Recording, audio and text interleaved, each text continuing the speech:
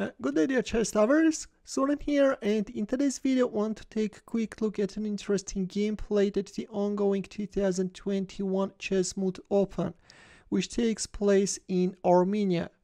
On the white side is Armenian chess grandmaster Samvel Ter-Sahakyan and his opponent is Indian chess grandmaster Rameshbabu Praggnanandhaa.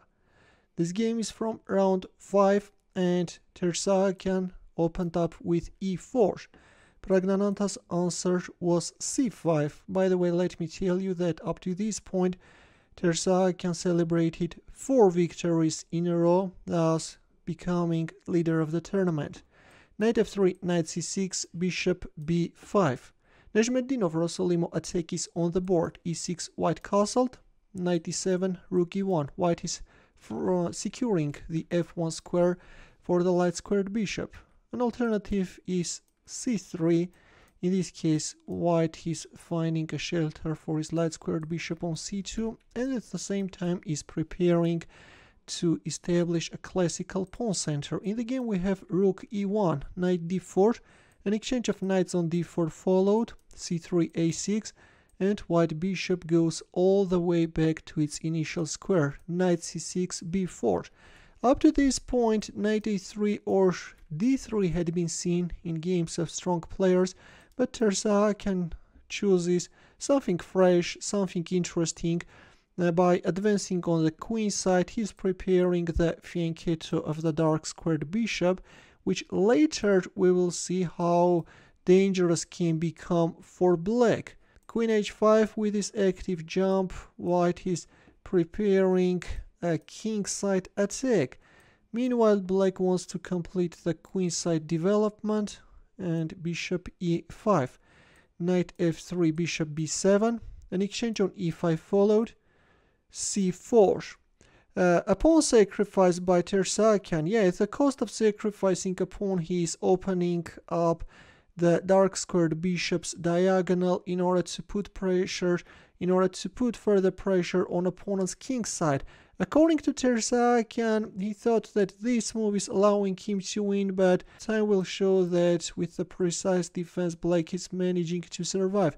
At the moment the knight on e5 was hanging, Black accepted the pawn sacrifice, and after an exchange on c4, once Black's knight is gone, Ter-Sahakyan went for the logical continuation of that pawn sacrifice and with bishop takes g7.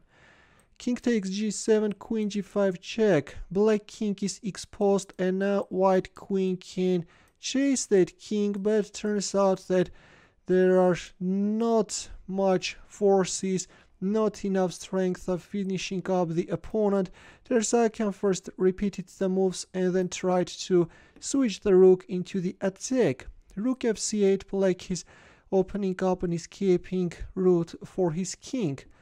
E5, well in case of rook g3 check then just king f8. Yeah, it may seem that black king is hopelessly exposed but uh, there is no way to make a progress. Here queen h8 check is bad because after king e7 you have no, you can no longer make progress and it's black who is winning and after rook g3 king f8 all you can do is just give a perpetual check. In our game after rook c8 we have e5, knight king f8. Black is defending really well. Rook e1 queen d8 and after a few more moves after queen f6 check on move 28, the players agreed to draw because there is not much white can do.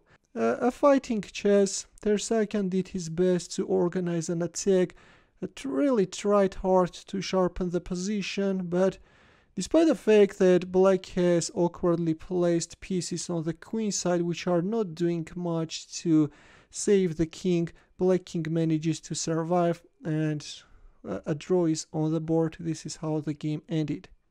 In the end, the chess puzzle for you where the task is to win with the white pieces.